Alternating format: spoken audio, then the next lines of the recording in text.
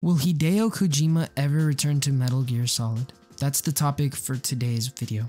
It's no secret that Metal Gear Solid is one of the best franchises ever created, and that is best credited to its creator of the franchise, Hideo Kojima. Konami and Hideo Kojima split back in 2015 shortly after the launch of Metal Gear Solid 5, The Phantom Pain due to Konami's restructuring of the company and creative differences with Kojima himself. As unfortunate as it sounds, for Kojima he honestly made the best out of a terrible situation not only because he made his own studio where he has complete freedom over his games, but where no one can interfere with his ideas. But is there a possibility of him returning to the Metal Gear Solid, or is it kinda out of the picture at this point? Well, I think the best case scenario is that Konami would do is license the franchise off to him. But even then, I don't think he would even return. In today's video, we are going to be talking about why this will probably never happen. But if you guys do go on to enjoy today's video, please drop a like, subscribe if you guys are new, and let's get on with today's video. Just a quick side note, before I do say anything else, I do want to preface that this is only my opinion, and I am explaining why there could be a day where Konami and Kojima rekindle their relationship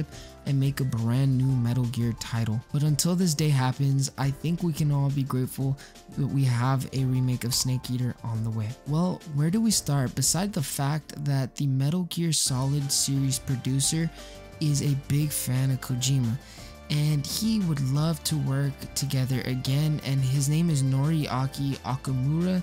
I probably pronounced that wrong. He is the producer of the Snake Eater remake and he has said in a YouTube live stream and I'm going to read it now to you. But just speaking for myself personally, I'd like nothing better than to work with Mr. Kojima the rest of the team again, Okamura said. If that could happen, that would be the dream. But people have moved on to new things and new commitments, and that's just the current reality. We just can't take it for granted that everyone will work with us again or let ourselves be completely dependent on them. And that was from a YouTube live stream. But what we can get from that is that Konami is at least willing to mend things with Kojima. But unfortunately, the same can't be said for Kojima, and honestly, I think it's for the best. Hideo Kojima has honestly moved on from the Metal Gear Solid series, and I'm sure as much as he loves this franchise, I think he's overall done with that chapter of his life. He honestly looks like he's very passionate what he's working on right now, which he currently has a lot on his plate because he's working with three up and coming games that have all been announced by the way.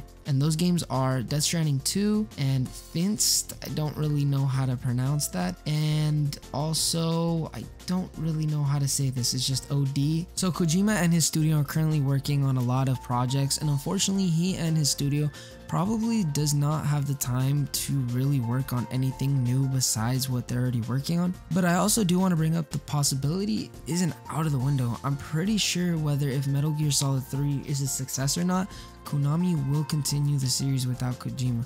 But even that is a scary thought because they already took a try with this and it did not go great. And I'm obviously talking about Metal Gear Survive, which was not received well. And the last thing I want for this is to happen again. I do think the most likely future for the Metal Gear Solid series is after the Snake Eater remake, we will be getting new mainline games. I hope you guys did enjoy this video.